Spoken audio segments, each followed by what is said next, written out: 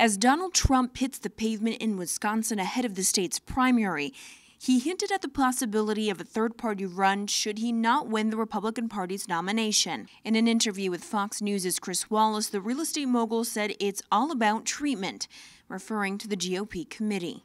When asked about his declining poll numbers, he told Fox News that while he's not having his best week, he still thinks he's doing pretty well. Wisconsin is a winner take most state with just over 40 delegates on the line. Erica Moura, The Boston Herald.